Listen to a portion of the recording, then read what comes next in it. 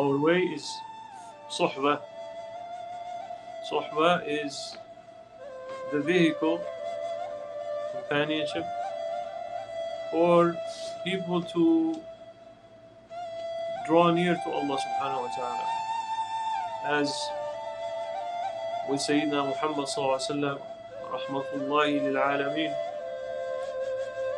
salawatu rabbi wa salamu alayh his suhbah made the companions